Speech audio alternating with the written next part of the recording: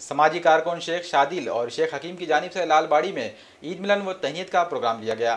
Ward number आठ शिवाजी नगर नई आबादी के समाजी कारकुनों और नौजवानों ने मुश्तरका तौर पर ईद मिलाप तकरीब मुनद की। लालबाड़ी में मुनदा इस तकरीब में शेख शादिल और शेख हकीम की जानब से जोन नंबर आठ से कांग्रेस के ख्वाहिशमंद उम्मीदवारों को तहनीत भी पेश की गई।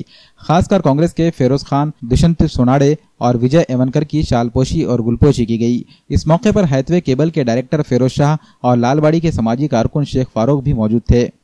ईद मिलाप तकरीब में शुरा को शेर खौरमा से जियाफत कराई गई। तकरीब के बाद एक रैली निकाली गई। अशोक चौहान तुम आगे फिरोज भाई तुम आगे बढ़ो। हमारे साथ है। फिरोज भाई आगे बढ़ो। हम तुम्हारे साथ है। सीपी तुम आगे बढ़ो। हम तुम्हारे साथ है।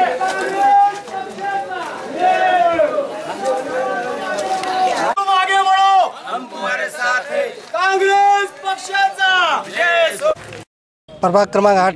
आठ से हमारे इच्छुक उम्मीदवार कांग्रेस के विजय भाव उम्मीदवार फिरोज भाई और दुष्यंत भाव सुनाड़े उनका सत्कार करे हमने और ईद मिलाप का बहुत अच्छा प्रोग्राम लिए और सभी को हमारे तरफ़ से कांग्रेस पक्ष की तरफ़ से शुभेच्छा।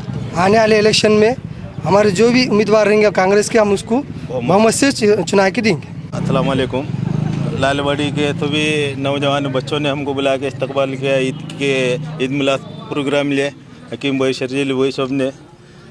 लालवाड़ी के जो भी प्रश्न के काम है, हम यहाँ से चुन के आने के बाद इंशाल्लाह पूरे कंप्लीट करेंगे जो भी छोटे मोटे काम है, कुछ बड़े प्रश्न नहीं ना यहाँ पे।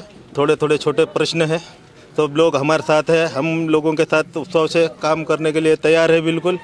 और अल्हम्दुलिल्लाह, कांग्रेस की सीट बहुमत से आठ नंबर से चुन के लेंगे साहब जिसी को किसी को भी देंगे चारों को। वो चार बहुमत से चुन के लेंगे इनशाला हाकीम भाई आणि शाजिल भाई आणि लालवाडीतले सगळे युवा कार्यकर्ते यांनी आज आम्हाला ईद प्रोग्रामसाठी बोलवलं. आम्ही जेवढे काँग्रेसचे इच्छुक उमेदवार आहेत फिरोजभाई दुष्यंत सोनाळे मी विजय येवनकर आणि इतर काय आहेत या सगळ्यांनाच बोलवलं होतं. पण आम्ही तिने येऊ तिघं येऊ शकलो. आणि यांनी ते सगळ्या लोकांनी आम्हाला काँग्रेस पक्षाला जे उमेदवार देईल त्यांना त्यांनी पाठिंबा द्यायचा असा ठाम निर्णय केलेला आहे. आणि मला असा विश्वास आहे की या प्रभाग आठमधून काँग्रेसचे सगळे उमेदवार बहुमताने निर्णय विजय होतील आणि चव्हाण साहेबांचे हात मजबूत करतील.